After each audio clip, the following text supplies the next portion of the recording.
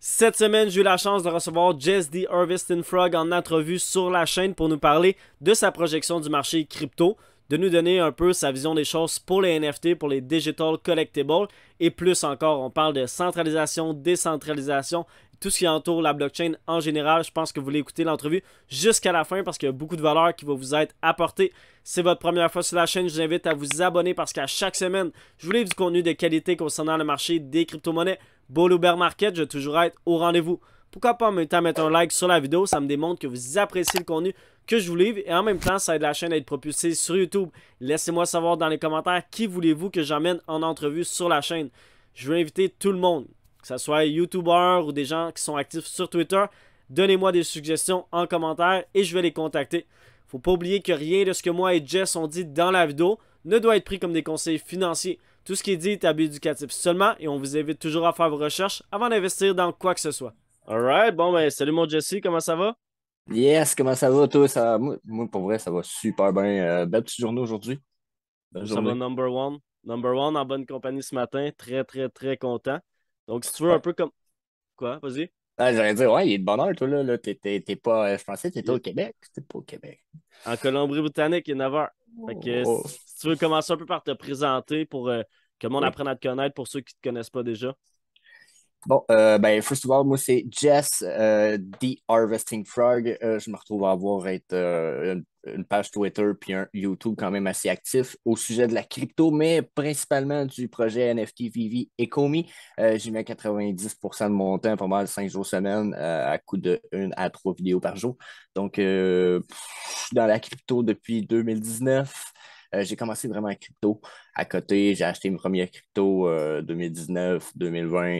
Euh, j'ai fait des chartes, puis that's it. Euh, je continue à faire des chartes encore pour le projet Ecomi Vivi à tous les jours pour le Bitcoin. Euh, justement, j'ai un show trois jours semaine, euh, lundi, mercredi et vendredi, justement, où ce qu'on fait des chartes du Bitcoin puis du OMI. Donc, yeah, c'est pas mal un survol global, mais that's it. 35 ans. S'il y en a qui se demandaient, t'es encore, vieux- t'es encore jeune. alright, alright. On va revenir un peu plus tard sur le projet de VV Ecomi parce que je sais que tu spécialises vraiment dans ce sujet-là. Mais je pense que j'aimerais savoir un peu ton opinion sur le marché. On sait qu'on a eu un monthly close hier qui est extrêmement bearish. Il y a beaucoup de mouvements dans le marché. Un... on, dit un peu que Bitcoin puis l'Ethereum, ils jouent au ping-pong. Ça monte, ça descend dans notre range. Après ça, on se fait cracher. Qu'est-ce que tu penses du marché? Est-ce que tu penses que on a déjà vu un bottom ou on se dirige vers un bottom plus bas? C'est quoi ta projection du marché pour les prochaines semaines, voire prochains mois? Euh, j'ai pas des projections qu'on pourrait appeler. euh, euh, moi, je vais les appeler positives. Ma, vision, c'est que les projections sont très positives. Sauf que ma projection, c'est qu'on on s'en va downtrend. Mais vraiment downtrend. À un tel point que je pense qu'il y en a beaucoup qui ça va faire mal. Vraiment mal. Je comprends qu'on a plein de catalystes qui pourraient nous aider. On pourrait parler de, de- des gros investisseurs, des banques, de tout le monde qui investit et qui rentre dans, dans, dans Bitcoin, puis etc., ou qui commence à évaluer tout, euh, tout ça, le potentiel, même le merge, le Ethereum qui s'en vient. J'ai pas l'impression que ça va nous causer un super gros pump. Euh, je dis pas que ça n'en aura pas un, mais mon feeling, c'est qu'on s'en va, ça downtrend parce qu'on n'a plus de support jusqu'à environ, euh, j'ai ma charte là, dans l'autre écran pendant que je vous parle, environ jusqu'à 14 000. On n'a pas comme de support de valeur. Euh, puis je pense que même pour les gros investisseurs, pour eux, ça vaudrait la peine d'acheter plus bas. Donc, d'acheter tout de suite fait presque pas de bon sens. OK. Pour, pour moi, on a- on- le marché s'en va pas sur une uptrend. On s'en va faire une espèce de bottom, probablement l'entour des. Moi, je dis 14 000, mais je- j'ai entendu 10 000, je le vois dans certaines de mes, euh, de mes chartes. C'est pas impossible. J'ai une grosse réserve. Grosse, grosse réserve pour le 10 000 et moins. Mhm. Mais je nous verrais arriver là-dedans. Après, ma vision, c'est que 2023, euh, ça va être du sideway. Puis là, il y a Ah plein de monde qui vont, qui vont décrocher pour vrai parce que là, on va être un an, à mon, à mon œil, on va être un an sideways promener probablement entre 14 puis peut-être 30 000. OK. Je pense pas qu'on va passer au-dessus de ça. C'est ça, tu vois ta vision pour 2023, toi. Donc, Ah un ouais. bottom. Le bottom se fera en 2023, puis après ça, tranquillement vers le halving, on commencera à prendre un peu de momentum. C'est un peu ta vision des choses? Je- euh, je oui, mais euh, je sais pas si on verrait pas le bottom cette année. Je serais pas surpris de le voir arriver cette année, notre bottom à 14 ou même un peu plus bas, 12 000 peut-être. on a, sur ma charte, je marche avec les bonnes vieilles horizontales trendline. Puis on recule jusqu'en 2018-2017. On n'a on pas de support important avant 14 000. On n'en a pas. Donc, nous faut aller faire un bottom au moins là avant, 2000, avant 2023. Puis après, euh, si on descend plus bas, c'est juste pour consolider, faire selon moi quelques flashs. Mais en 2023, on, va perdre beaucoup de joueurs parce que beaucoup de joueurs vont penser que ça va remonter, ça va remonter, puis ils vont se laisser décourager parce que tout ce qu'on va faire, c'est une consolidation d'un an. Ça a été déjà vu un peu dans le passé, hein, consolider pendant 6, 8, 10 mois. Euh, ce ne serait pas la première fois le market est changeant par rapport au passé, mais il est encore très, très semblable à au moins 60-70% des comportements qu'on a vus. Donc, pour moi, c'est ma vision. OK. Ouais, puis tu sais, même quand on regarde la charte, par exemple, de 2019, on trouve ça vraiment flat. On dit, bon, il se passait rien, mais on était dans un range quand même. On se promenait, on avait des swings de 50% on redescendait. C'est là qu'on est allé se former un bottom. Puis un peu pour les altcoins, est-ce que tu penses que toutes les altcoins vont se faire décimer? C'est quoi un peu ta vision des altcoins? Est-ce qu'ils vont se faire détruire complètement, puis on va ressortir seulement avec Bitcoin, Ethereum? C'est quoi que tu vois? J'ai l'impression que pour les altcoins, c'est là que vous allez peut-être voir une différence dans le market comparé aux années passées. Ce que si tu regardes les projets de 2017-2018, on n'en retrouve pas des on n'en retrouve pas des pelles. Allez sur Market Cap, vous n'allez pas être comme Ah, tiens, je vous en sors, mon Jesse, tiens. Non, non, non, non, non, non, non, non, vous n'allez pas en retrouver une coupe. Là, je pense que cette fois, on va peut-être avoir certains projets qui ont commencé ou qui commençaient euh, tout de suite après la dernière bull run, pas celle qu'on vient de faire l'autre d'avant, puis que ou qui ont survécu, puis qu'on va voir on va voir progresser. Encore une fois, petite parenthèse, Ecomi était pas la bull run qu'on était, mais l'autre avant, ils ont survécu avec zéro en banque. Là, ils viennent de traverser leur bull run en ce moment. Ils n'ont pas explosé, sauf qu'ils sont comme. Euh, ils, vendent, ils font du sold out quasiment à toutes les ventes de NFT. donc, ça fait partie des projets, je pense qu'on va voir commencer, parce que ces projets-là, ils ont vu le monde de la crypto, ils ont dit nous autres, on ne fera pas comme avant, on va se planter les pieds comme du monde, on se fait une vraie entreprise, pas un projet une mhm. entreprise, on s'en va en crypto, puis euh, on mise sur le long terme. Donc, je pense que ça, c'est ce qu'on va voir, la nouvelle émergence pour les altcoins. Donc, je pense qu'on parle peut-être pas d'un 90% mais plus d'un 75% des projets crypto qui viennent de, de cette bull run, exemple, ou la pré-bull run qu'on a eue, qui vont mourir. OK, OK. Ouais, puis Ecomi, euh, tu peux me. Ta, ta, communauté va sûrement me roaster parce que je connais pas euh, Ecomi, mais c'est un écosystème, c'est un écosystème un peu plus fermé, right? Yeah.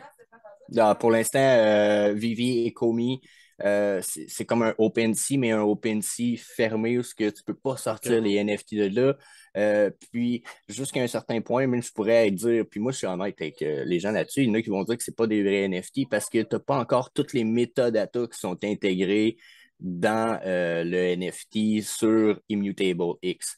Bon, euh, après, c'était déjà imprévu comme ça, c'était prévu qu'il soit réintégré, puis c'était prévu que ça soit éventuellement interopérable pour la plupart de nos NFT, mais c'est en train de se faire au moment où on se parle, où ce que là, les métadatas sont ajoutés, puis que maintenant, vous allez tranquillement pouvoir aller voir certains NFT, puis voir le modèle 3D sur Immutascan, puis avoir accès à visionner, exemple, ce modèle 3D-là, ce qui n'était pas le cas. OK.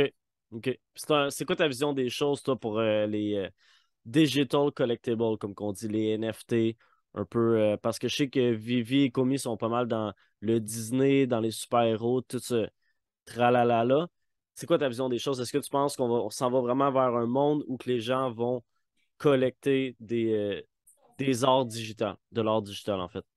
Ben, pour répondre simplement oui, je pense qu'on s'en va vers là. Par contre, tu sais, je regarde des commis, Vivi, mais au nombre de personnes, j'ai commencé beaucoup plus en crypto. J'ai été une bonne année crypto avant Vivi et. J'aidais les gens à ne pas se planter dans leur début euh, crypto puis éviter de se faire, euh, se faire crosser, on va dire.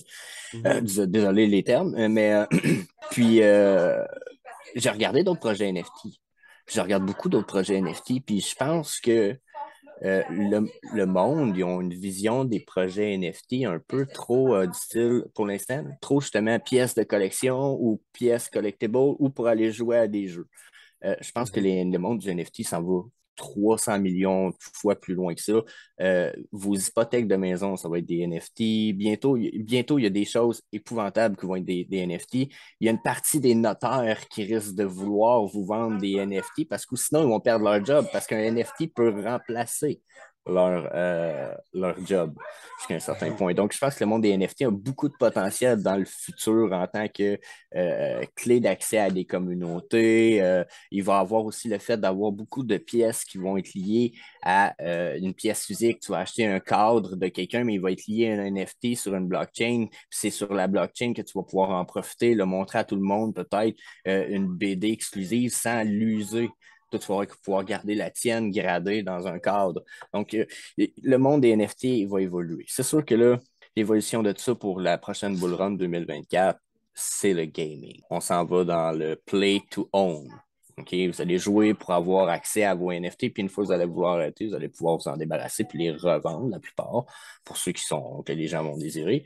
Mais euh, je pense qu'on s'en va vraiment plus loin pour ça. Sauf que pour l'instant, les projets NFT qui ont ce potentiel-là, puis qui ont une vision d'utilité, euh, de potentiel d'accès à des communautés ou peut-être même à de la réalité augmentée ou, metaverse, euh, je pense qu'il y en a très peu des projets. On parle d'une poignée de projets qui s'en vont par là. Présentement, ce qu'on a comme collectible dans le monde, je pense que 99,9% vont mourir. Les seuls qui ont le potentiel de survivre sont vraiment euh, les projets style euh, les V-Friend, encore là peut-être euh, EcoMe, VV. mais il faut voir qu'il y ait vraiment un, gros travail fait en arrière de ça. Sinon, sinon, les NFT, là, on est dans le initial goût de la création du monde des NFT. On est vraiment là, early. 99,999% vont mourir. Ça, fait que ça, c'est ma vision pour les NFT. C'est correct, c'est un peu ce que je vois aussi euh, du côté des NFT. Puis tu sais, quand on dit bon, les NFT peuvent remplacer un notaire, il faut noter aussi que le notaire serait bon pour euh, officialiser le transfert. Parce que je te donne un exemple. Moi, j'ai un wallet. Euh, dans mon MetaMask, j'ai mon NFT qui est mon certificat de ma maison. Je me fais voler mon MetaMask. Qui sait?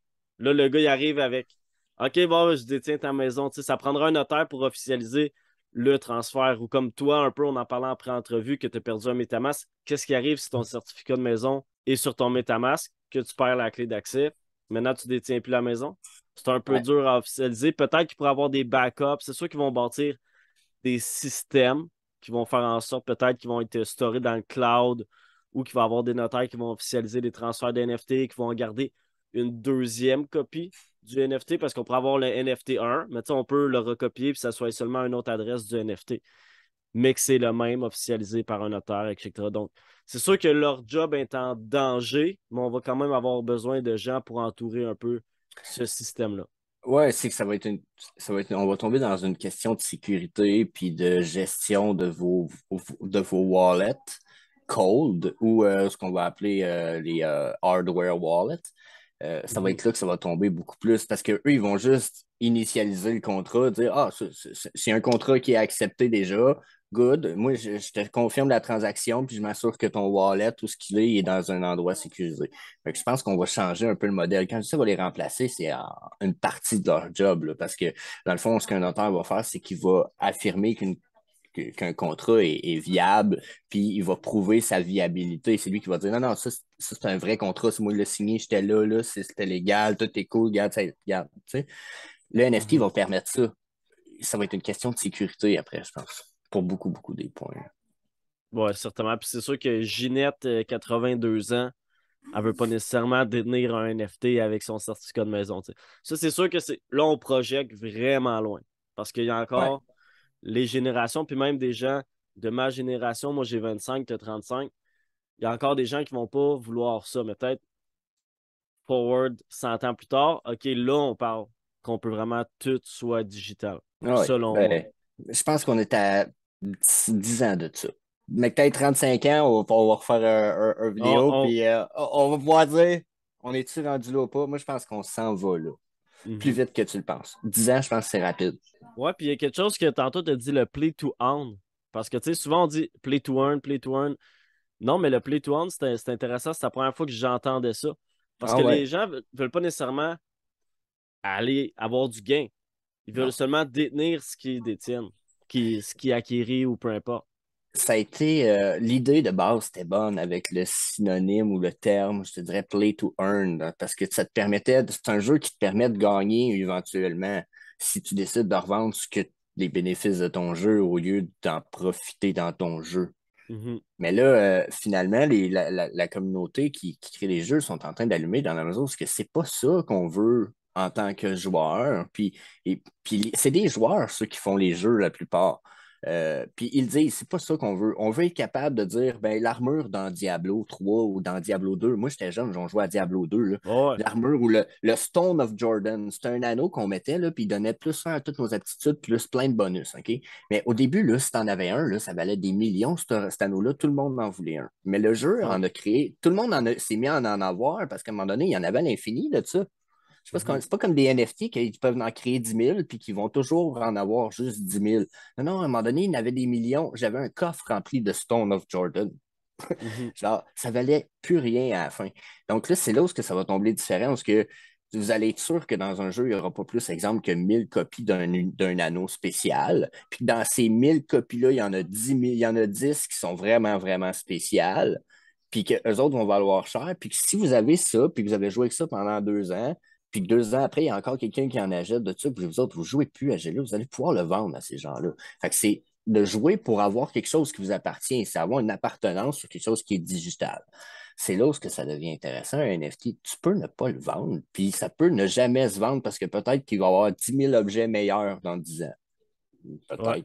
Mais le but, c'était juste de dire, ben, peut-être que si toi, tu trouves une arbalète de fou, mais que toi, tu as un sorcier, ben, tu peux la vendre à 25$ à quelqu'un qui la veut, ton arbalète de fou. Ouais. C'est cool. Je trouve ça cool. Tu sais, fait que c'est là où que le ownership devient important. C'est pas, c'est pas earn. Peut-être que tu vas la garder au bout de la ligne, tu sais, puis on veut pas. Le, le but, c'était pas de donner le- le- l'envie de vendre. Non, non. C'était donner envie de jouer pour que tu puisses dire Waouh, ça m'appartient pour vrai. Tu sais, éventuellement, dans le monde des NFT, tout le gaming, tranquillement, sont en train de dire que certaines armes, tu vas pouvoir les, transporter de, de, d'un jeu à l'autre. Fait que, mec, mec, tu sois à la version 2 de, Ghost of, de Call of Duty, tu vas pouvoir te ramener ton gun de Ghost of Duty 1 à Ghost of Duty 2. Fait que tu vas avoir un gun upgradé en startant ton jeu parce que tu sais, ou avec un skin spécial parce qu'il se transporte d'un jeu à l'autre. Donc c'est là où que tu, tu viens que tu détiens quelque chose. Ça devient intéressant. Ouais, puis on sait que les gens, ils, ils dépensent énormément, beaucoup d'argent euh, dans les skins, dans les, peu importe les guns modifiés sur Call of Duty, dans. J'ai jamais joué, mais à Fortnite, je sais que les gens dépensent énormément, beaucoup d'argent. La plupart du temps, l'argent de leurs parents. Puis après ça, tu sais, ça, ça meurt là. là. Ben, t'es Puis- peut-être jeune, mais euh, ça marche encore. En fait, j'ai entendu dire qu'il y a encore du monde qui joue World of Warcraft. Si tu savais? Ouais, le nombre encore. de personnes que j'ai connues qui mettent, qui, qui mettaient, on parle de 1500 à 2000 dollars par mois là-dedans. Holy shit, hein? Par mois, ils ont joué pendant 5 ans. Fait le calcul. 5 fois 12 fois 1500. Ouais, t'as mis 50 000 et plus. Aujourd'hui, ils vont récupérer combien de cet argent-là? Même s'ils vendent la compte, tu penses qu'ils peuvent l'avoir pour combien? 2000 peut-être? 3000? Ouais. C'est rien. S'il y aurait. Puis probablement qu'il y a beaucoup Ça- de systèmes qui ne pouvaient pas vendre non plus dans le jeu. là. C'est s'ils vendent pas la compte, puis quand ils vendent la compte, la compte se fait bannir parce qu'ils l'ont vendue, puis ils n'ont pas le droit, tu. Ok, puis j'avais j'avais quelque chose en tête, mais ça m'est échappé un peu. Ouais, Ben c'est ça que je voulais dire. Non, non, je l'ai. Le modèle du Play to Earn, les gens, ils met- tu gagnais, mettons, un token. Je te donne un Mhm. exemple. Tu sais, dans Axie Axie Infinity, tu gagnais des Love Potions, etc. Mais ce que ça fait, c'est que c'est un modèle de économique qui est dégueulasse. Après ça, les gens, ils jouent, ils jouent, ils jouent, ils récoltent des tokens qui est, qui mis à pression à vendre directement parce que les gens jouent directement pour gagner de l'argent, ils vendent le token, puis ça crée une économique qui est dégueulasse avec un supply qui se fait inflate en malade, qui a une pression à la vente en malade, puis on, peut le voir avec un flop comme Axie Infinity. D'un, les NFT, je me rappelle, je sais pas c'est quoi le nom des, des petits bonhommes qui achetaient. Au départ, c'était accessible par tout le monde. On voyait un trend aux Philippines que les gens ont commencé à jouer à Axie Infinity, au Venezuela, etc. Mais après ça, les collectifs pour jouer, ils étaient, ils étaient hors de prix. Les gens pouvaient même plus jouer. Puis après ça, ben, ces petites personnes-là qui n'ont pas nécessairement un gros salaire, qui font 10 par jour aux Philippines. Là, ils réussissent à économiser pour s'acheter un collectible. Après ça, leur supply, il se fait inflate à fond. Puis leur token ne vaut plus rien. Au final, ils se sont fait baiser, tu sais. on voit ça dans la plupart des jeux Play to Earn. C'est un peu un flop de la économique du modèle Play to Earn. Ben ouais, ben c'est un des bons exemples, malgré le fait qu'il essaie de se rattraper. J'ai pas suivi dernièrement, mais j'ai eu des gens qui m'ont dit Oh, fais attention, Axie sur place. Bon, je sais pas, euh, I don't care un peu. Euh, mm-hmm. Mais c'est parce que c'est une espèce de tokenomique je vais dire un peu un mot euh, grave, là, mais un peu Ponzi ou pyramidal un petit peu, OK? Ou ce que c'est pas pyramidal ou ce que tu n'avais pas des bénéfices nécessairement des autres, sauf peut-être pour le scholarship programme où ce que tu fais comme louer tes, euh, tes axes qui étaient comme mhm. tes Pokémon finalement. Mais je pense que c'est leur tokenomics qui était mauvaise parce qu'au bout de la ligne, j'aime un peu Illuvium dernièrement là, que j'ai regardé, j'ai accès à la bêta privée.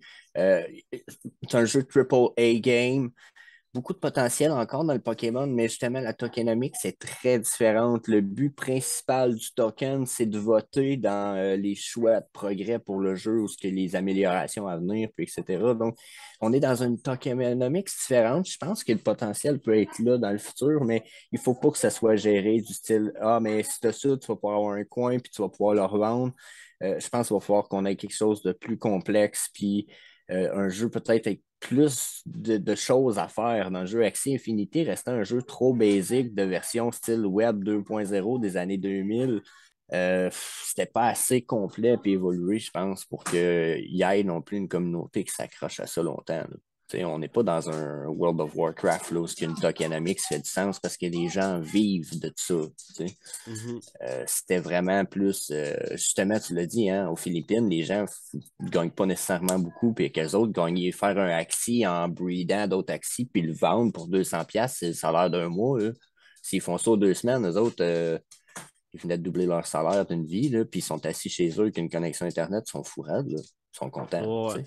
Donc, je pense que c'est là où ce qui est tombé la grosse problématique, c'est qu'on oublie aussi qu'il va falloir que ce domaine-là soit euh, géré peut-être par euh, serveur selon les endroits où tu vas habiter, puis etc.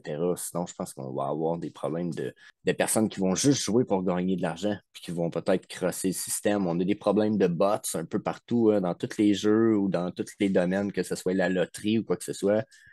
Il y a des bots partout, partout, partout. Fait qu'on se retrouve rapidement avec des problématiques. Là. Ouais, puis ça, c'est dans tout. Tu sais, même quand les gens jouaient à Pokémon Go, euh, il y a un meme un peu. Ben, c'est pas un meme, c'est une photo d'un gars qui, se promenait, je pense que c'était en Chine, il a genre 70 téléphones sur son bicycle, puis il fait une capturer des Pokémon parce qu'il revend les comptes. Ça, c'est un modèle qui est classique, mais c'était un peu plus pour les hustlers. Les gens qui se disaient, bon, OK, je peux faire une coupe de pièces en, en grindant RuneScape et en revendant les golds sur Internet ou à deux ah, Super. Si tu c'est cool, là, mais non, non, mais c'est ça. du système avec des. À c'est des bots. Là. Ils font clic, puis tout se fait tout seul. Puis euh, Vivi, on a eu ce problème-là, c'est qu'on a eu des milliers de bots qui achetaient les drops à un moment donné. Quand un drop mm-hmm. arrivait, on ne pouvait pas en acheter quasiment parce que tu avais des bots sur 20 téléphones, puis le gars, il regarde ses téléphones, puis le téléphone, il achète tout, tout seul. Il n'a pas besoin de cliquer sur rien à la fraction de seconde que c'est prêt à acheter. Fait mm-hmm. que là, on est rendu. On a été. Euh, il y a eu gros des progrès de fait là-dessus. on a presque plus de bots sur Vivi, mais ça a été un giga problème. Euh, ça va être la même chose pour les jeux. J'ai déjà vu un jeu, euh, le, ton bonhomme il joue tout seul, il mine.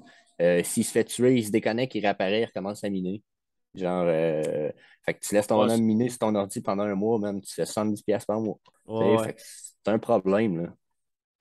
Ouais, ça, c'est dans, tout même dans le trading en ce moment. J'avais vu un article de Alameda Research. Euh, le temps des human traders vient à sa fin parce que là, on se fait front-run par des ordinateurs qui sont extrêmement plus rapides que nous autres, qui prennent 50 000 trades par jour. Tandis que moi, je suis là, j'essaie de, capter mon setup. T'sais, eux autres s'en foutent. La haute frequency, ils trade à la seconde près. Puis c'est comme ça que BlackRock trade, c'est comme ça que les gros hedge funds Ray etc., ils trade. Que ça devient de plus en plus dur qu'on parle de jeux vidéo ou de trading en général de ne pas se faire front-run par les bots. Puis euh, il y en a un qui tourne euh, sur Twitter ces temps-ci. Le gars, il trade euh, comme un bot. Puis là, il met un peu sa comparaison human vs machine, mais le gars, il est extrêmement rapide. Il prend des trades à la seconde près non-stop. Mais là, il faut que tu fasses attention au spread, etc. Mais le temps des human traders vient à sa fin. Le temps des human play to earn, on va se faire front run par les bots, ça c'est sûr et certain. Puis on dans Ça va dépendre des systèmes de sécurité pour les bots. Comme là, avec mm. Vivi, on sait correct, mais là, les jeux, il va falloir qu'ils mettent 30% de leurs revenus, euh, de leurs leur bénéfices ou peu importe, là-dedans. Ça va, être, ça va être inévitable. Il va y avoir euh, du monde qui va être payé pour surveiller les, bots et les accounts. Puis euh, si tu bots, tu vas te faire banner ton account. Puis ça va être ça dans le futur le plus gros. Parce que, encore pour le trading, tu parles de ça, puis je, le sais parce que depuis six mois, j'étudie le bot trading moi-même pour le trading de bain des cryptos. J'en ai testé, puis il y a des fois, j'ai fait 50, 70$ avec des, un bot trading que j'ai laissé rouler. Je fais, ah, je, je, trade en dessous, puis ça, je vais te mettre une médiane. Juste après moi, ça a l'air bon, let's go, papy. Et quel ça a été payant. J'étais comme, ah, ah, OK, tu sais. Puis euh, j'ai mm-hmm. pas pas un apprentissage de fou là-dessus. Donc, euh, ouais, j'étais pas au courant peut-être que le human trading s'en allait là, mais je sais que le bot trading s'en vient épouvantable. Puis il donne un range, puis du temps que ça monte, achète, après revend, achète, revend. C'est comme le 2023 s'en vient, là, ça reste d'être une année parfaite pour faire ça. Si on fait du sideway comme je le pense pour nos, euh, nos chartes, là, tu mets un bot entre 14 et 30 000 puis tu le laisses rouler. Genre, c'est un peu ridicule, mais si on s'en va là en même temps, euh, ça va peut-être changer le market. Ben, ils, disent, ben là, c'est selon des études, ultra spéculation, prenez pas, prenez-moi pas mot pour mot, mais que 90... Gab, il l'a dit, c'est vrai. C'est ça. Bitcoin à 100 000 semaine prochaine. Bitcoin à 100 000. Euh, non, ils disent qu'environ 90% du volume, ben d'un, 50% du volume serait fake. Ils font du wash trading, tu sais. Ils achètent puis ils revendent, dans le fond, les échanges pour que le volume aille l'air plus gros, pour que tu penses, bon, ok, je vais aller sur euh, MEX Global, que MEX se sont fait prendre justement que 50% de leur volume serait fake. OK, il y a de la liquidité, il y a du volume, je vais aller sur cet échange-là, mais en fait, c'est les bots de l'échange qui achètent puis qui vendent la même position. Fait que le hmm. volume, il est inflaté. C'est logique, ça fait du sens si tu veux grossir tes chiffres. On voit ça dans n'importe quoi, le monde grossit leurs chiffres. Mais ils disent que 90% autre que ça, 90% du volume réel serait des bots. On aurait 10% de traders. Puis là, dans le stock market, c'est encore plus grand. Parce que les cryptos, ben, c'est un peu plus nouveau, mais c'est moins régulé aussi. Fait que là, ils peuvent faire plus de, de passe-passe. Puis quand on voit BlackRock qui commence à offrir des services crypto à leurs clients, on sait que BlackRock, ils ont un, euh, un bot qui s'appelle Aladdin, qui est ultra, ultra, ultra rapide, qui prédit un peu le, futur. On sait que le AI est super intelligent, puis comment ils peuvent faire des prédictions, etc. C'est sûr qu'ils sont pas. Euh, ils n'ont pas une boule de cristal, on n'a pas un, oracle euh, AI. Bon, on a des oracles, oui, certainement, mais ce que je veux dire, c'est qu'ils ne peuvent pas nécessairement à 100% savoir jamais sûr. À moins qu'eux, ils contrôlent un peu comment que le market bouge aussi, tu. Hmm.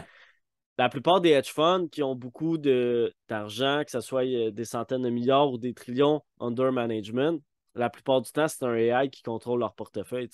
Oui, il y a un humain qui va double-check, qui va s'asseoir en arrière, qui va rechecker. Puis ça, c'est un peu comme dans n'importe quoi. Dans une usine, on a des machines qui font un job, on a un humain qui double-check. Quand la machine a saute, peu importe, on, fixe. Ben c'est la, la, même chose avec le money management. Il y a des gros hedge funds qui gèrent ben, comme BlackRock, Blackstone, etc., c'est un peu plus que 20 trillions sous asset management avec leurs filiales, parce qu'on sait que Blackstone, BlackRock, same, same, but different. Avec leur bot Aladdin, ça gère au-dessus de 20 trillions, c'est un AI là, qui gère les positions le monde du, de la crypto va évoluer sûrement avec la technologie. Ça, on n'a pas le choix. Là. On, entend parler de des affaires assez, euh, assez intenses, autant que ça a l'air qu'en octobre, Meta sort une de ses premières versions à 1200$ d'une paire de lunettes de réalité augmentée. Euh, fait que, imagine euh, jusqu'à un certain point, moi, ce que je quand je pense à ça, je pense AI parce que eux autres, là-dessus, ils mettent une caméra puis ils doivent mettre des lasers. Ça, ça veut dire qu'ils vont faire la même affaire qu'ils ont fait avec les chars de Tesla, c'est qu'ils sont en train d'augmenter l'intelligence artificielle avec ce qu'ils nous vendent finalement.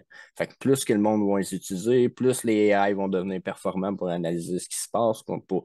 Fait éventuellement, euh, que ce soit trading ou que ce soit n'importe quoi, je pense que notre monde va changer beaucoup, beaucoup. Euh, pour bien, bien des affaires. puis on est, les, on est au premier rang de ça, je pense, avec le trading, la crypto. Euh, c'est tous des projets futuristiques avec la crypto. Là. Si tu regardes ça, c'est pas des projets de, des années 2020. Là. C'est, on a des, encore des grosses compagnies qu'on va dire qui, sont, qui ont des vues futuristiques et qui ne sont pas dans la crypto. Là, je pourrais aller avec les robots de Boston Dynamics ou Tesla qui sont en train de faire des robots, ne sont pas en crypto. Sauf que c'est parce que la crypto n'était pas prête quand ils ont parti, parce qu'on m'a dit probablement qu'ils seraient. Là. Ouais, mais une blockchain, des fois, c'est. C'est ça que j'écoutais, euh, j'écoutais une entrevue avec Tom Crown, puis qui expliquait, tu sais, la blockchain, on veut tout le temps rapide, efficace, cheap. Mais la blockchain, à la base, n'a pas été créée pour être rapide, efficace, puis cheap. Elle a été créée pour sécuritaire, transparente, décentralisée. C'est sûr que moi, je suis pas un Bitcoin maxi, OK? Rien de là, puis vraiment pas. Vraiment, vraiment pas. J'avais fait un tweet l'autre jour comme quoi j'aime pas les Bitcoin maxi, ah, sans, offense, j'aime juste pas la philosophie. Ça devient un peu une religion, Puis ce qui arrive, c'est que c'est sûr que oui, on, s'en va vers le rapide, efficace, etc. Mais des fois, le modèle ne fait pas de sens. OK, tu es, une blockchain, mais tu n'es pas plus efficace qu'un un, protocole normal. Puis tu es quand même centralisé. Fait qu'au final, c'est un peu du marketing, puis les gars s'en mettent plein les poches. Mais ça, on le sait, c'est normal. C'est normal quand tu as une industrie en plein essor, comme qu'on voit avec la blockchain, la crypto, euh, les gens veulent essayer de faire du cash. Puis la plupart, comme quand on a vu que Facebook changeait leur nom pour Meta, on a eu un gros Metaverse Trend, mais 99.9, c'est de la bullshit. Puis même, le monde dit OK, euh, ah, Sandbox, par exemple, tu sais, Sandbox, c'est Minecraft. Mais ils disent Ouais, mais tu peux mettre des publicités, etc.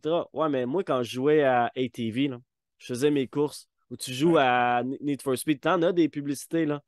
Il y a mm-hmm. tout eu des publicités les jeux vidéo. Mais oui. C'est sûr que là, c'est un peu plus interactif, mais ça reste que, tu sais, c'est pas nouveau nécessairement. On le vend comme nouveau, on, te met ça dans la bouche en disant Hey, c'est la nouvelle révolution. Hey, on peut vendre des publicités. OK, mais il y, a tout le temps eu des publicités dans des jeux vidéo. Puis... on a du chemin à faire. je pense que si, si ta projection est bonne puis qu'on reste flat pendant 2023, beaucoup, beaucoup des Play to Earn, Metaverse vont mourir parce qu'on avance tellement vite. Puis là, il y a des Play to Earn vraiment solides qui vont sortir. on les voit j'ai des triple A game s'en vient, l'industrie du triple A game s'en vient. Hein. Vraiment mm. dans, dans blockchain, là, euh, Gala Game, puis euh, euh, même Epic, même ceux qui font Fortnite, c'est Epic? Epic Games qui font Fortnite, je ne me trompe pas. ils sont en train de partir un jeu MOBA qui est un massif, un autre MOBA, mais un peu plus style League of Legends. La blockchain. Si je pense que j'ai vu ça hier. Ouais, ouais, j'ai vu Robbie Ferguson, il a publié ça dans le fond sur Immutable X moi, je suis, je huge sur euh, IMX. C'est un peu. Ça mon biggest bag. Pas now, ah. parce qu'il y a beaucoup de vesting là, mais ça va être un de mes biggest bags. Puis, euh, tu ça, j'ai des amis qui ont fait fortune dans Illuvium, tu sais. Vraiment, ils, ont mm-hmm. fait, ils ont fait des beaux bags. Puis, euh, mais je pense que quand même, là, si on a un bear market prolongé, investir directement dans un play to et pas nécessairement dans l'écosystème sur lequel il est construit, je pense que c'est un, un play un peu plus risqué selon moi. on sait que la économique de IMX, c'est pas la meilleure. Non. Mais, mais ça, reste, ça, ça se peut quand même s'ajuster. Ouais. Mais euh, IMX reste quand même la blockchain, layer 2 avec le plus de potentiel pour l'instant. Je dirais ça de même, là. Euh, je n'en vois pas d'autres layer 2 d'Ethereum qui ont ce potentiel-là. Puis tu parlais tout à l'heure de, blockchain un peu que ouais, ouais, t'es bien bien rapide, mais euh, excuse-moi, là, mais euh, Solana, t'es rapide, là, mais qu'est-ce que tu peux être sécuritaire? ouais, tu, serais resté ouvert? Hein? Ouais, tu sais, euh, ça, ça, ça, se peut-tu, genre, que tu as oublié la base dans ton système? C'est un peu le genre de, de, de, réaction que j'ai quand je t'entends parce que je trouve que tu as raison. Je suis comme, ouais, là, y a de quoi qui ne marche pas. C'est supposé être décentralisé le plus possible, safe. je sais que Ethereum, là, vont dire que ce pas l'affaire la plus décentralisée au monde, mais euh, au moins, on est sécuritaire. Décentralisation, la centralisation, c'est un gros débat qui est sans fin, mais là, je vais peut-être me faire lancer des roches. Je vais perdre des subscribers. Mais je pense pas que la décentralisation est nécessairement le point le plus important. Parce que quelque chose de super décentralisé, va être un peu comme le Bitcoin. on l'a déjà, notre blockchain qui est ultra décentralisé. Puis même là, tu vois que dans la décentralisation, ça se centralise, les pools, les pools de mining, puis blablabla. Puis il y a du monde qui tire les ficelles quand même derrière tout ça. Là. Ouais. Non, c'est pour ça que j'ai l'impression qu'on faut fort qu'on se rende à un niveau de décentralisation important pour enlever euh, un pouvoir à la centralisation qui est inutile pour l'instant. Je pense qu'il y a une centralisation qui est importante. Là. Exemple, je vais donner un exemple de moi qui a perdu mon wallet de MetaMask. Ben, si j'aurais peut-être une entité de sécurité qui est centralisée, mais à qui j'aurais donné ma clé pour vrai, j'aurais pas perdu ma clé de wallet, j'aurais pas perdu mon wallet après ma gaffe. Tu sais. Fait que c'est une. Tu sais, je sais pas si tu comprends, finalement une entreprise de sécurité qui aurait ma clé, c'est centralisé. là. Je sais pas comment ils MetaMask faire est centralisé. Ouais, en plus. Tu sais, mais euh, fait qu'il y a tu plein de peux pas les demander. qui- Ouais, Mhm. il y a plein de choses qu'il faut que tu euh, que tu peux. Je pense qu'il va falloir établir une, une norme puis un équilibre entre les deux. Puis en pour l'instant, le pourquoi il va falloir établir ça, c'est parce qu'on ne l'a pas. La centralisation a créé un trop grand débalancement de notre société. C'est pour ça qu'on a un besoin de décentralisation, je pense. Pas parce qu'il Euh, faut moi, que ça pense- devienne la norme, parce qu'il faut récréer un équilibre. Je pense qu'on a besoin d'un d'un système de transparence. Fait c'est sûr que tu peux avoir certains aspects de la blockchain qui est centralisé. Parce qu'on a besoin, si on est totalement décentralisé, bon, mais ça veut dire qu'on lance un produit comme ça, puis que là, c'est un peu laissé euh, au vote du peuple, au vote des participants, mais on sait que tout le monde n'est pas les plus intelligents. Les DAO, selon moi, c'est un système un peu stupide parce que ça ne marche pas vraiment. Si tu demandes l'opinion de tout le monde, on n'avance pas vraiment. Ça prend tout le temps, ça prend quelqu'un qui prend les décisions. Mais où je veux en venir, c'est qu'on peut avoir de la centralisation, mais on a besoin de transparence. Tu sais, tu as, un organe centralisé qui opère la blockchain, etc. Mais d'un, ils peuvent avoir des systèmes de gouvernance quand même. Puis que là, ça marche sous la démocratie.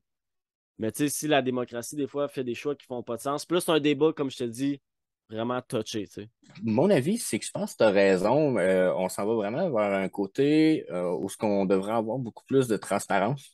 Puis les blockchains risquent d'être ça, mais on risque d'avoir des sous-entreprises qui vont être, eux, centralisées puis qui vont utiliser un système plus, peut-être, bon, sans dire totalement à 100% décentralisé, en grande partie décentralisé qui risque d'être des blockchains. Donc, euh, je pense que c'est là que le Web 3 s'en va. euh, pour la technologie qu'on va devoir faire face dans le futur. Et Notre société n'aura pas le choix d'évoluer. Est-ce que tu as vu FedNow? Non, non. OK.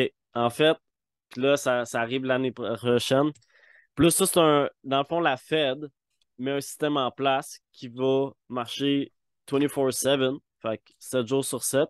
Un peu comme le Swift. On sait que Swift, ça a été créé, je pense, c'est dans les années 80. C'est vraiment Ouais. old school, tu sais. Fait que là, c'est auto-settlement, fait que tu vas pouvoir faire des transferts bancaires de trillions de dollars, whatever, de milliards de dollars entre les banques centrales instantanément 24 heures sur 7. Puis là, le monde sont comme, OK, bon, mais là, t'enlèves le narratif pour le Bitcoin. Mais là, l'affaire, ce qui arrive, c'est que c'est simplement un signe qu'au début, ils s'en foutaient, personne n'en parlait du Bitcoin, des cryptos, whatever, la blockchain, on s'en fout. Après ça, ils en parlaient, mais ils en riaient. Mhm. Puis là, ils en parlent, mais là, ils sont comme à défensive. Bon, il faut mettre des choses en place parce qu'on voit que le public, on voit qu'il y a une demande pour ce qui est rapide, efficace, auto-settlement, 24 sur 7 pour les transferts d'argent. Tu sais, moi, si je veux envoyer 10 millions euh, en France, par exemple, j'ai mon cousin français, Ça prend deux je peux semaines. pas. Ça me prend prend deux deux semaines. Puis ça, c'est après ça combien de papiers de anti-money laundering, blablabla, qu'ils vont, ils vont me faire des enquêtes. Je veux transférer 200 000 de mon compte Coinbase à mon compte de banque. Live là, je me fais fucking euh, 50 millions de KYC. Ça fait chier. Puis tu vas te faire barrer ton compte de banque. Ouais, ouais, c'est ça. Va pas au McDo de payer un McDo, c'est foutu. Là, t'as- t'as- ton compte, tu l'as plus. Tu as essayé de transférer beaucoup d'argent. Et en plus, au Canada, euh, il s'est passé de quoi durant le truc des convois, pour faire une petite parenthèse. De toute façon, s'ils décident que tu es tannant, clic, clic, t'es barré de partout. T'as pas un crise Ouais, de compte qui marche. Non, non. Ben non. Puis là, tu le vois aux, aux, aux States. en- ben, je sais pas. Là, on switch d'un sujet à l'autre, mais je sais pas si Ouais. tu as vu. Je sais pas si tu as vu. Euh, comme quoi au Canada, tu peux pas acheter pour plus que 30 000 de crypto. À part certaines provinces. Donc, moi, au BC, je suis correct. Au Québec, vous êtes correct. Mais si tu es en Ontario, tu peux pas acheter pour plus que 30 000 par année. Tu as un plafond. À part. The fuck? Ouais, je t'enverrai le lien de l'article. À part les cryptos, le BCH, le Bitcoin Cash, que tout le monde s'en fout. Le Bitcoin, ça c'est correct. Le- je pense que t'as l'Ethereum, Litecoin, tu- toutes les Dino Coins. là. Ah non, pas vrai. Que là, tu peux Oh acheter plus. God.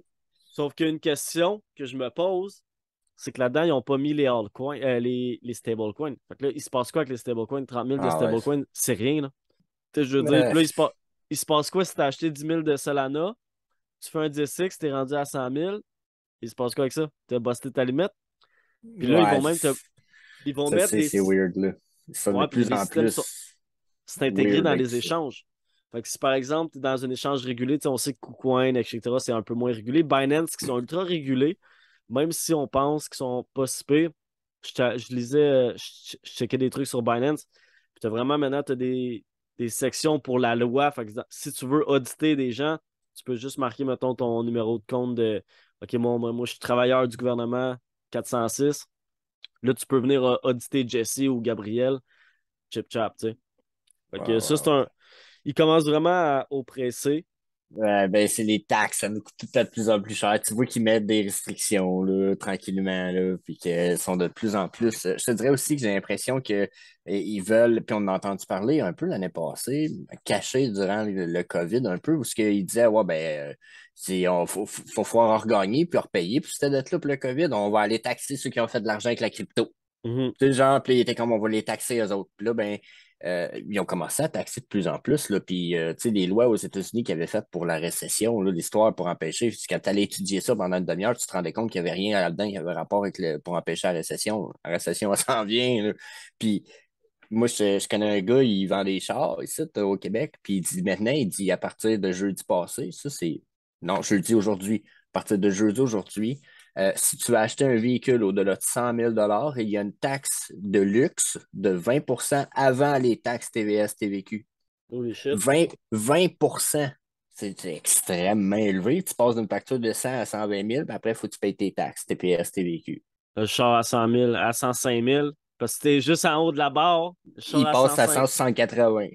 Ah, je te dis, ça va être fou. Les années qui s'en viennent, euh, d'après moi, ça va avoir de quoi qui pourrait être dangereux. Je pense que 2023 va être très sombre. Puis je parle même pas de crypto. Fait qu'imaginez la crypto après, va faire quoi? La crypto fait juste suivre. Hein?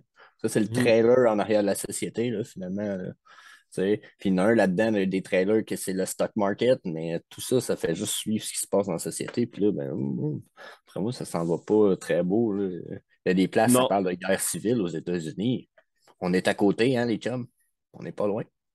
Ouais, puis quand on voit ce qui se passe en Europe avec l'énergie, euh, tu regardes la charte de l'énergie, mettons en Allemagne, on dirait un shitcoin qui vient de pumper euh, 200x. Là. Shiba Inu 2.0, non, c'est l'électricité. Ouais, c'est ça. Shiba Inu tu sais, 2.0. T'en as-tu du Shiba? T'en as-tu eu? tu, tu veux rire, mais je l'ai acheté en février-mars, l'année passée, juste avant que ça pumpe. Puis euh, là, j'étais là, bah, qu'est-ce que je fais avec ça? Fait que là, je l'ai vendu à perte. Oh, merde. Attends, deux semaines après, j'aurais fait quoi comme 100 quelques mille. Là? Ah, man. J'ai fait des conneries même aussi. Whatever. Ben non, mais tu sais, je- moi, je suis un investisseur sérieux. Puis là, on- le- le- les mondes du stock market vont dire, bah, t'es dans le crypto, investisseur sérieux, retourne jouer Ouais, avec tes, là. tes Tonka. Mais. Ils sont tous en là, train je- de switcher en cachette, puis ils disent tout pas leur chum. Non, non, mais tu sais, je regardais ça, puis là, j'étais comme, tu sais, qu'est-ce que je fais investir dans Shiba Inu, tu sais? Whatever, j'étais ça. Puis là, j'ai fait, ah, ok, je vais vendre, perte, perte de 10%. Après ça, tout le monde était comme, ah, Shiba Inu, Shiba Inu, j'étais là, C'est dude. une, c'est une des raisons pourquoi je, j'ai une- on parle crypto, là. J'ai une stratégie, on peut peut-être parler de fondamental. Peu importe ce que j'achète, j'en hold 50% quasiment to the moon. Ma vision pour 50% de ce que j'achète la plupart du temps, c'est 10 ans. Ok. J'en ai du Shiba Inu. Là, j'en ai perdu parce que j'ai perdu mon MetaMask, puis euh, j'avais du staking aussi. Que c'était MetaMask-là, mais euh, Mhm. bon, c'est du Shiba Inu, c'est pas la fin du monde. Mais euh, j'en ai encore dans un Binance. Je pense que j'en ai genre 25 millions. Pas beaucoup, là. Je pense que ça vaut même pas 200 pièces. Mais je, je, je le vends pas. Ça fait partie de Memory Rules. Parce que plein de monde qui ont tout le temps dit, puis même moi, j'ai déjà dit ça, je pense que j'avais 14 ans, puis je disais au monde, préparez-vous. Le cannabis, ça va être légal. Le monde me disait, hey, Tipit, t'es des fleurs un petit peu, là, va fumer ton joint, puis Chris m'en paix, OK? Oh, liste, ouais. dix ans plus tard, j'avais raison, tu sais.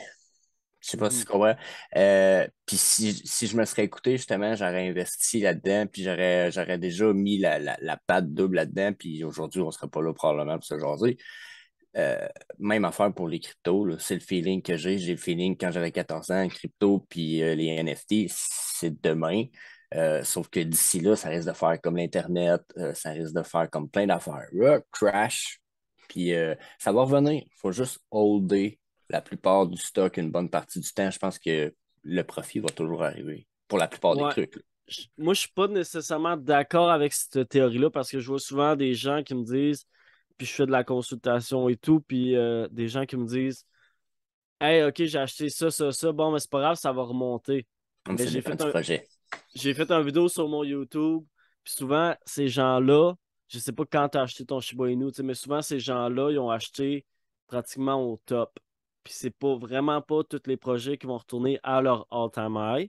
Puis avoir cette mentalité-là, puis je dis pas que ta mentalité n'est pas correcte, c'est juste que moi, c'est pas ce que je prône, c'est pas ce que j'enseigne il faut gérer ses positions. Puis là, plaisir coupable, j'en ai des positions qui sont descendues de 95%, puis tu sais, je me suis shooté dans le pied, tu sais. Puis là, rendu Encore là, je profit, moi, c'est Shiba, ça te donne une idée. Ouais, ouais. Bon, mais tu sais, c'est bon. Mais tu sais, il y a des gens qui achètent plein de projets en disant Ah, ok, ça va remonter, ça va remonter. Puis là, il, me dit des projets, puis je suis comme Dodge Elon Mars, fucking Pichou Inu, Kichou, ah Pichou. là. je suis comme dude, genre, t'es allé sur point.app, euh, puis euh, t'as scrollé, tu non, mais là, OK, c'est ça. C'est que, tu sais, quand je dis garder 50 c'est vrai que j'aurais dû vraiment faire la parenthèse du fait que je peux passer trois semaines à évaluer un projet. OK. Tu sais, Shiba Inu, j'ai investi parce que je me disais, Calis, entre ça et Dogecoin, il n'y a pas trois semaines de recherche à faire sur Dogecoin. Tu essaieras, tu ne seras pas capable. OK? Shiba Inu, tu pouvais voir qu'il y avait une communauté, ils veulent faire de quoi, ils ont encore le projet de faire de quoi. Tu sais, fait au moins, il essayait. Je ne sais pas si tu comprends, mais si tu vas voir, euh, il y, a des projets, j'ai déjà investi dans GMR Token. Ça s'appelle Gamer à Start. Mais c'est une affaire de merde. Oui, mais, mais tu sais, quand tu dis, OK, je prends un guess, ça c'est un guess, mais euh, ça, je l'ai hold en, en l'oubliant. Je pense qu'il est mort, lui. Là, tu sais, euh, mm-hmm. Mais j'ai investi rarement dans des projets de merde. C'est façon de parler. Il faut que ça ait un bon potentiel. Si tu pas dans le top 200 du coin market cap, déjà, si, il y a bien des chances que je te regarde pas. Ouais, mais c'est là que tu vas faire tes, tes, tes moonshots, tu sais, en dehors du top 200. moi, je dis en dehors du top 100, tu as des moonshots. Puis euh, justement, IMX, ben là, comme tu me dis que tu évalues des projets, c'est quoi tes top 3 pour euh, sans conseil financier, bien sûr, les gens, j'ai pas fait le disclaimer. Ah. On a-tu là des conseils financiers? J'ai une moustache, il est là avec son casque d'écoute, chandail Volcom. On n'a rien des conseillers financiers. C'est quoi ton top 3 des projets accumulés pendant le bear market? Enlève Bitcoin, enlève Ethereum. Ouais, c'est ça, il faut enlever le top 2 parce que ça reste King and Queen. Euh, j'ai encore, euh, j'ai encore espoir pour euh, Polkadot, mais c'est parce qu'on dirait que je suis comme. je, pense, je pense que ça, c'est mon cœur qui parle. Mm-hmm. Je pense que j'ai pas le choix d'être de, friend. Je pense que c'est mon cœur qui parle. Je vois encore Polkadot avoir du potentiel, mais après, je ne sais pas. Euh, XRP, à cause du fucking settlement en, cours, si on parle juste profit, bénéfice, XRP, euh, si on parle projet, il ne rentre pas dans le top 3. Qu'est-ce que tu accumules, toi? Est-ce que tu accumules ou pas en tout? XRP, j'en accumule. Je suis rendu à. Bon, euh, c'est pas des man, mais je suis rendu à au-dessus de 500 XRP. je, je, juste. Je parle d'un des wallets. Je regarde pas les autres parce que souvent, de toute façon, je ne je regarde pas. Euh, après ça, justement, ben, euh, Polygon, Polkadot, XRP, mais c'est juste à cause du potentiel de monnaie à faire, je pense. Plus qu'autre chose. Sinon, c'est parce que je suis trop accroché dans. Euh, si, je pense au potentiel. Ouais, je suis un peu omi et comi à cause que je pense qu'il y a un bon potentiel. Puis pour l'instant, je ne vois pas d'autres blockchains ou d'autres projets de ouf, à part peut-être. Puis chez nous. Pichouinou. Ouais. Je, les regarde, là, je suis pas le cadot. Euh... Polygon. Tu penses de Chainlink? Tu penses quoi de Chainlink? C'est un bon projet pour moi, mais euh, j'ai pas mes trois semaines de recherche de fait dessus. OK. Fait que je, te donne un petit. vraiment en apprendre, ouais. Je vais te donner un petit hint, ça va être mon plus gros bag. Ah ouais? OK. Legit. Ah. Je pense que c'est un projet boring, vraiment boring. Les gens sont comme, ça fait son shit, c'est ça que ça fait. Mais si tu penses sur le long terme, ça, c'est un investissement long terme, quand tu, retournes dans dot-com bubble, man, recule de fucking 20 ans en arrière. Je pense que ça va être un qu'on va dire, oh fuck, that was the fucking Amazon. C'était le fucking Apple, tu sais, du temps. Ouais, ouais, ouais. C'est super boring, OK, des oracles, bon, ils sont, partout, ils font un job. Ouais, mais justement, ils sont là, ils font un job, puis ils s'en vont pas, tu sais. Ils continuent d'être intégrés sous silence. Euh, World Economic Forum, les bacs, je sais, c'est pas nos chums. Ouais, c'est vrai que ça peut faire peur. Ouais, mais tu vas avec la logique. Moi, pour moi, c'est un de mes plus gros bacs. Ouais, ben, il va falloir l'étudier parce que pour l'instant, j'avais pas, euh, j'avais pas l'intention d'investir là-dedans. J'en ai pas pantoute, pantoute. Euh. Je pense que mon top chain pour l'instant, c'est Ethereum. J'ai du EMX aussi, mais c'est pas le top 3. Ouais, moi j'attends un peu pour mon EMX, ça va être plus 2023, là, la vesting schedule est dégueulasse. Mais tu sais, j'ai des orders pour EMX. Moi, je suis un gars de, des ordres irréalistes, comme Chantal Lang dirait j'ai des orders pour euh, fucking EMX à 20 cents. tu sais. Ben, je comprends. Euh, et comme moi, là, on, on pogne jamais le bottom, mais euh, j'ai. Non, mais genre. Ils vidé pour l'instant parce que pour moi, on n'est pas sur le bottom. Ouais, mais tu ris, tu sais, mais mettons, tu sais, j'avais des ordres pour Matic à fucking 35 cents, puis tu sais, se sont remplis. Fait que je mets des orders super low, tu sais, comme là, si l'Ethereum descend, je scoop pas mal d'Ethereum à 900, j'en scoop à 750, ben à 650, à 550. Puis tu sais, le monde sont comme, ah, mais là, pourquoi t'attends le bottom? Non, c'est juste que live, j'achète pas. Fait que si on a une scam week, on a un problème de liquidité ou peu importe qui rentre, moi et mes ordres sont là. Ils vont se faire filer ou ils se font pas filer, peu importe. Puis, quand que je veux acheter, quand je veux accumuler, je fais fermer une ordre qui est un peu trop irréaliste, comme j'avais du Matic à fucking 7 cents. Là, fait que là, j'étais comme, je voulais accumuler un peu de lignes puis un peu de shit à gauche, à droite. Je ferme mon ordre de Matic à 7 cents qui est vraiment euh, intense. Fait que, si on se rend là, au pire, c'est pas grave, je vais re-shooter des stables sur l'échange puis je vais les racheter. Fait que, je ferme mes ordres réalistes puis j'accumule. Mais je ferme les vraiment plus basses parce que les plus hautes, j'attends qu'ils se filent. Ouais. Fait que, ah, puis un peu... À 900, je le vois y retourner. Bon, ouais, bon, je suis même pas inquiet. J'en ai scoopé une coupe, puis euh, je vais en scooper euh, une couple. Là, fait que, non, euh, sur le monthly, il est encore dans le trend. Fait que je te remercie, mon Jesse. rien, merci. à toi, man. Fait que la prochaine fois, c'est toi qui, c'est toi qui s'en viens. J'ai sur ta chaîne, avec plaisir.